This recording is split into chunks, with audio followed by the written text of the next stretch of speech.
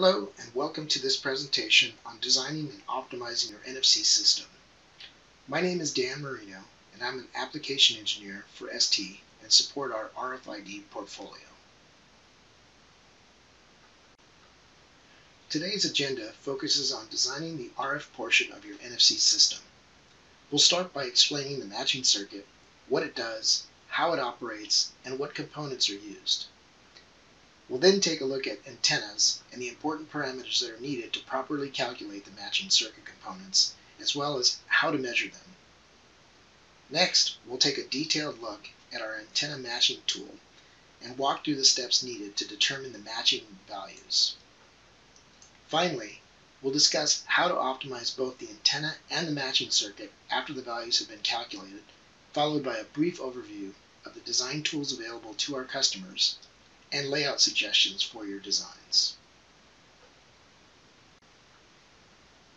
The matching network in an NFC system essentially defines the analog and RF performance of the system. This is why it's so critical that it be designed efficiently and correctly. Let's start with a brief overview of a typical system block diagram. Here we see the digital portion that encompasses the MCU and a part of the reader IC. The interface to the reader is either SPI or I2C, and there's a digital and RF power supply applied to the reader. It's important to note that the difference between an NFC reader and an NFC controller is that the NFC controller has an MCU built in, as indicated by the segmented blue line, and the interface is NCI, which is NFC controller interface. For this presentation, we'll focus on, on a standard NFC reader. The analog RF circuit consists of an EMC filter, the matching circuit, the antenna, and the receiver attenuator. In the following slides, we'll go into more detail of each of these blocks and their individual functions. So the first question is, why do we need a matching circuit? Essentially, the matching circuit matches the output impedance of the reader, which is mostly resistive, to the antenna, which is primarily inductive. If we were to look at a vector diagram of the antenna, we would see a very large inductive component and a very small resistive element. The resulting vector would look similar to what we see in the bottom right corner of the slide. So the ultimate goal is to try to make Z out equal Z load. Because the antenna is mostly inductive, we have to add capacitance to counter the inductive component of the antenna. We do this in the form of a series and parallel capacitance. This seems very easy and straightforward, and if this were the only step involved, we would be done. However, as we'll see, additional components also affect the values that we place here. The output of our reader is a 13.56 MHz square wave. In order to remove the high frequency component of the output, an EMC filter is needed. This filter is typically a two-pole low-pass filter with a cutoff frequency of approximately 13.56 MHz. This will add both inductance and capacitance to the output that will also have to be compensated for in the matching circuit. Additionally, the RX attenuator will also add additional capacitance that needs to be adjusted for in the matching circuit as well. Here we see the entire output circuit. Connected to the differential outputs of the reader is the EMC filter, which is a two-pole low-pass filter consisting of an inductor and a capacitor. Following that is the serial and parallel capacitor and the damping resistor and finally the antenna. Also shown is the capacitive divider which serves as the receiver attenuator. You'll notice that there are two capacitors in parallel, C405 and 406, and C407 and 409 for the parallel capacitance. The reason for this is to provide the ability to fine-tune the value if automatic antenna tuning is not used. Now let's take a closer look at each of the output circuit components and their functions. A common question that's asked is what type of antenna should I use? we typically suggest a two-turn antenna with an inductance value between 200 nanohenries and 1 microhenry. An important item to consider when selecting the inductance of the antenna is that a larger inductance will necessitate a smaller parallel capacitance to achieve resonance at 13.56 MHz. If the design intends to use automatic antenna tuning, it's best to design the antenna with an inductance in the lower range to allow for the added capacitance of the tuning caps. The EMC filter function is to reduce the harmonics generated from the RFO stages. It's no big surprise that the cutoff frequency is set to approximately 13.56 MHz. The matching and serial capacitor essentially controls the impedance match from the EMC filter to the resonant circuit. It also cuts the DC path between the two RFO outputs. And finally, the parallel capacitor forms the resonant circuit with the inductance created by the antenna. The Q factor adjustment can be either a serial or parallel resistor near the antenna. Its main function is to set the Q of the system. Because it can only reduce the Q of the antenna, the antenna Q must be higher than the required system Q. A higher system Q produces more field strength but reduced bandwidth, thus used for lower data rate protocols. A lower system Q produces less field strength but allows for more bandwidth, thus supporting higher data rates. Target system Q values are typically between 8 and 25 and are based upon the protocol data rate chosen. And finally, the receiver attenuator reduces the RFI input to less than 3 volts peak to peak per the datasheet by means of a capacitive divider. The target matching impedance is directly related to the amount of field strength the reader will produce. A higher matching impedance will produce less field strength, lower power consumption, and higher efficiency, while a lower matching impedance will result in higher field strength, higher power consumption, and less efficiency. The matching impedance range is between 8 to 20 ohms, but in most cases it will be between 10 to 30 ohms. So the common question is, how do I control the output power of the reader? The answer is through the matching impedance. In almost every NFC application, the antenna is usually defined by the mechanical space that's allotted for it, meaning that there's no standard antenna. This is the reason that a matching circuit must be designed for each antenna. In order to do this, it's important to understand the various antenna parameters, how they can be adjusted, and finally, how they are measured. Here we can see the main parameters associated with the antenna. Coincidentally, four of these parameters are needed when calculating the values for the matching circuit. Of major importance is the Q factor of the antenna. This parameter must be higher than the required system Q as stated previously, typical system Q values range between 8 to 25, so the antenna Q needs to be greater than 25. The other parameter that is somewhat important is the inductance of the antenna. Again, as mentioned before, a high inductance value will lead to a smaller parallel capacitor value. This becomes critical if you're considering using automatic antenna tuning in your design. This table shows you how to manipulate these parameters by adjusting antenna geometry.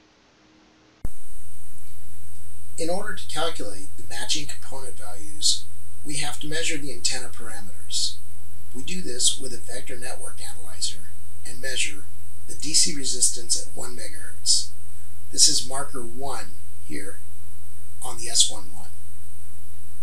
We must also measure the inductance at 1 MHz. In the example on this slide, the inductance was calculated at 13.56 MHz. However, the antenna design tool that we will see in the coming slides is expecting this value to be measured at 1 MHz. We must also measure the self-resonant frequency. This is marker 3 here on the S11. Um, In addition, we have to measure the parallel resistance measured at the self-resonance. These measurements can be done with an inexpensive VNA, such as the Mini VNA from Radio Solutions. In order to make it easier to calculate the matching values, ST offers an antenna matching tool that is available online. In the next few slides, we'll cover how to use the tool. Here's what the antenna design tool looks like. The first thing to do is to select the device and the topology that will be used for the reader implementation. This covers both the ST25R3911B and the ST25R3916 families. Upon selecting the device and topology, the associated circuit diagram will appear in the tool. This includes single-ended with and without automatic antenna tuning, single-ended 50 ohm, and differential with and without AAT. Here we can see some of the associated topologies. Once the configuration is selected, the measured antenna parameters are input into the tool. Here you can select if you want a parallel or series damping resistor to adjust the Q. Then the preconditions are set, which is either EMVCO or default. Choosing one of these will automatically select the EMC filter cutoff frequency, the target matching impedance, and the target system Q. These values can also be put in manually. In addition, you can select what EMC inductor is to be used along with its DC resistance. When these values have been input, you can select Calculate Matching Values, and the calculated values are displayed on the circuit diagram. It's important to note that this calculation does not take into effect trace resistances or parasitic capacitances of the board layout. This is why we have built in a simulation tool. This also helps because the tool will calculate capacitor and resistor values. They may not be standard values. After the component values have been calculated, select Save and Simulate Circuit. This will open the simulation tool. When the simulation window opens up, several blocks will display that include the simulations that have been run, the circuit models that have been used, AC equations, and most importantly, the circuit components seen here in the expanded window. Here, one can change the calculated values to standard values and see their effect on the S11. It's also possible to change the capacitive divider that sets the input level to the receiver. After changing the component values, you would then simulate the circuit by selecting the Simulate icon at the top of the menu. It's the one that looks like a sprocket. This will bring up several more windows with results from the simulation. Here we can see the filter response info and more importantly the impedance match. The S11 we see here is ideally what we want the match to look like you'll notice that the resonant frequency is close to the real axis, and therefore mostly resistive. In addition, the matching impedance is within the recommended values. Additionally, information regarding the antenna voltage, the receiver input, and the phase and amplitude is also provided from the simulation. The receiver input is very useful information as it will provide info as to if the capacitive divider on the RFI pins needs to be adjusted. The antenna voltage info is helpful, especially when using the AAT function on the 3911B, since the trim pin values have to be kept under 20 volts. So an output swing of more than 40 volts peak to peak would mean that the trim pin inputs would be greater than 20 volts, which would necessitate a capacitive divider on those pins. So now we've measured the antenna parameters and calculated the matching components, and we're done, right? Well, not quite. Now comes the real work. So what are the next steps? As mentioned before, the simulation does not take into effect the traces on the board. So in order to check if the matching is correct, we have to install the components on our board and remeasure with a VNA. This time we measure at the RFO pins with the power off, unless we're using AAT. We'll, get, we'll look at that later. We then compare it to the simulation and then adjust the populated values so that the measured S11 looks close to the simulated S11. Once they are similar, you then begin testing and optimizing based upon current consumption versus read range. Typically, this involves achieving the desired read range and then increasing the impedance match to reduce the current consumption to an acceptable level. So naturally, the next question is, how do I know what components to change in order to achieve the simulated results or to adjust the impedance match? Here we can see a cheat sheet of sorts that shows how each of the component values affect the S11. Previously, I gave a brief description of what each of the components controlled. However, in reality, changing one component will necessitate adjusting the other values as well since all of them work as a whole. So looking at this slide, if one wanted to increase the impedance match, you would generally increase the serial capacitance. But additionally, you would probably also have to increase the parallel capacitance to put the resonant frequency back on the real axis. Unfortunately, this is the type of skill that comes with time. But the good news is that once you've increased the serial capacitance and remeasured, the resulting S11 would show you that you would have to increase the parallel capacitance. So ideally, you want the measured S11 to resemble this plot. The resonant frequency is very close to the real axis. However, in some cases, you may want to optimize for antenna loading. In order to do this, it's important to understand the effect of the device on the antenna resonance when it enters the reader field. Here we see the effects of both a card and metal approaching the reader antenna. We see that as a card approaches the antenna, the resonant frequency moves towards a lower impedance, while metal will move the resonance in the opposite direction.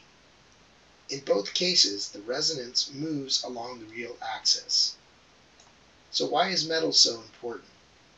because most phones tend to contain metal, and if one were to optimize for communicating with phones, then perhaps you would want to select your match such that it was located at a more optimal position to account for this loading.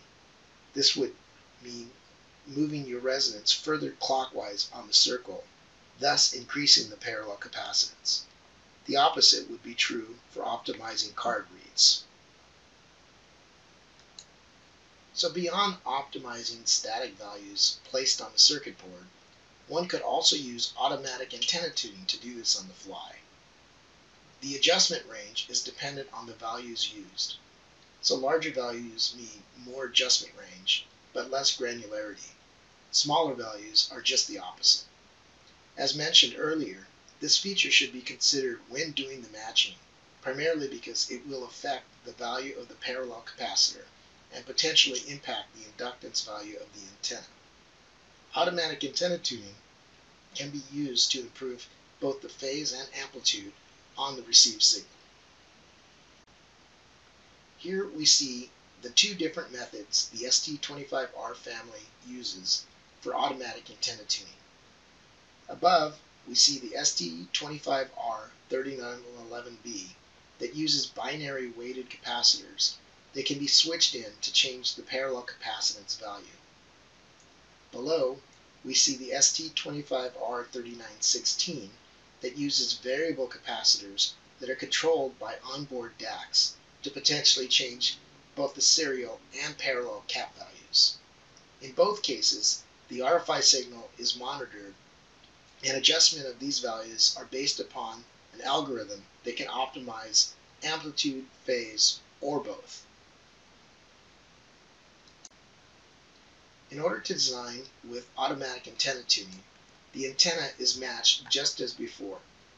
In the case of the ST25R3916, three quarters of the voltage controlled variable cap value is subtracted from the calculated parallel or serial cap, and that becomes the new value.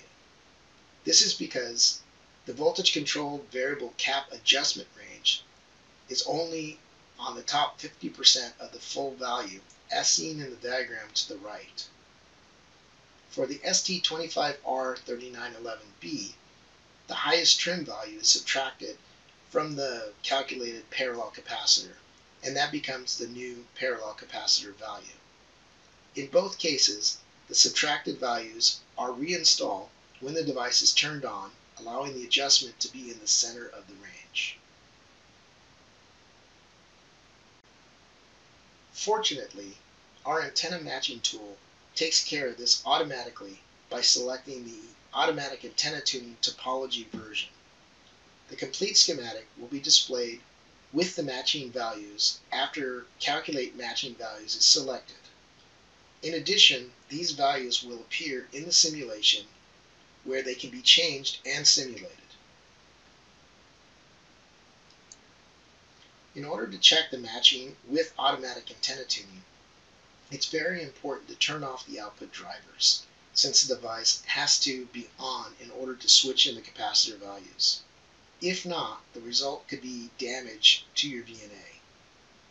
For the ST25R3911B, register 27 needs to be set to FF in the register map.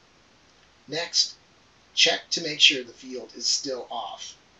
From here, you can adjust the trim values in the antenna tuning tab of the GUI and see the range of adjustment that's possible. With the trim value set to 8, you should be in the middle of the range. For the ST25R3916, register 28 must be set to 7F, and then ensure no field is being generated. Again, going to the antenna tuning tab for the 3916, you should be able to see the range of adjustment by changing the variable cap values. Because the ST25R3916 has the ability to adjust both the serial and parallel caps, the adjustment range is much more expansive compared to the ST25R3911B. Here we can see a comparison of the adjustment range that is achievable for both devices. For the ST25R3916, the impedance match can be placed anywhere within the shaded region while the ST25R3911B simply moves it around the circle. Now that we've gone through the matching procedure, let's take a quick look at some of the design tools available to you to prototype your design. ST offers several hardware platforms to evaluate and prototype with our NFC readers. Both the ST25R3916 and the ST25R3911B have discovery boards as well as Nucleo shields. The difference between these boards is that the Nucleo boards tend to be self-sufficient in that they run a simple polling loop and indicate what type of card has been read. Discovery boards typically require a GUI that controls the board, but allows total access to the device meaning that all registers and settings can be accessed via tabs in the GUI. In general, I typically suggest Nucleo boards for software development since they provide a known working reader platform. The Discovery boards I suggest for hardware development for a few reasons, but primarily because they can be used to drive a customer antenna or a customer board. It's also a good platform for checking antenna matching in all cases, the software GUI, source code, and design files are downloadable online to facilitate your implementation. For those developing payment solutions, we also have an EMVCo reference design based on our ST25R3916. It includes an L1 stack, a software GUI to control it, and of course the board which has passed an L1 debug session. This reference platform is available by request. And of course, we have our antenna design matching tool, which you've seen earlier. It's available for download from our website for free and includes the Qucs simulator. The tool can be found at the URL listed on this slide. Finally, let's briefly discuss some layout suggestions. So here's some of our layout suggestions. We typically recommend at least a four layer board, uh, if possible, uh, with signal, ground, power, and signal being the stack up. Uh, we recommend that the RFO paths be symmetrical since the output of the device is differential, so you want to make sure both those uh, signal paths are, are equal in length. Uh, this also goes uh, for the RFI pins as well, although that's a little bit difficult to do uh, based upon the placement of the pins. However, try to keep them as symmetrical as possible. Uh, keep the traces short, so the whole output circuit you want to be fairly compact. Uh, you want the EMC filter to be as close as possible to the RFO pins, and this is so that you don't radiate high frequencies throughout the board.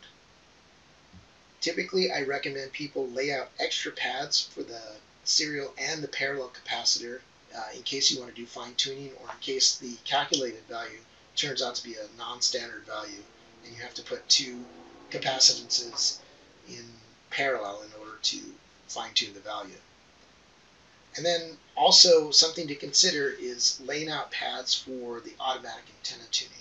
And this is a just in case. So when you're prototyping, it's very easy to just go into the GUI and change the values of the capacitor to see the changes on the on the uh, tuning itself. And it's uh, fairly easy to do. And then if you were not going to use the AAT functions for either the 3911B or the 3916, uh, then you can simply uh, change out the device to a device that does not have that function and you just don't populate uh, those uh, capacitors. So here are some examples of layout suggestions that we have. On the left you can see that we have our EMC filter placed right at the RFO pins so this goes back to making sure that that EMC filter is very close to there. And then looking to the right, you'll notice that the, the inductors, these are the EMC inductors here, are placed at 90 degree angles to, the, to each other. And the reason we do that is in the past we've used inductors that are wire wound. And so in, uh, in order to keep them from acting like a transformer, we separate them. And the easiest way to do this is just to put them at 90 degrees. Um, in addition, you can see that the RFI lines are routed symmetrically, but uh, the distance isn't exactly the same because they're run on opposite sides of the chip. Um, and then make sure there's no long signal traces between the LC filter and the remaining matching components. So once again, you want to make sure that the output circuit signal path is very, very short. And then also keep vias um, away from the RFI lines, and they should be avoided in the final design if possible. And here are some more examples of layout suggestions. On the left, you can see an example of uh, where we put our decoupling capacitors. So this is layout 101, um, and you want your capacitors as close to the chip as possible. Uh, we typically use a 2.2 microfarad and a 10 nanofarad in parallel at each of these pins. To the right, you see that we've laid out a generous thermal pad with vias, and uh, this is to uh, dissipate the heat in the device. It's very common that you may be um, dissipating a lot of heat in these devices, especially if you if you match towards a, a lower impedance. And so it's very important to keep the device cool, and we do this through the, um, the ground plane and thermal heatsink. And that concludes uh, this presentation. I'll now take any questions um, that you may have regarding the presentation or any of our um, NFC readers.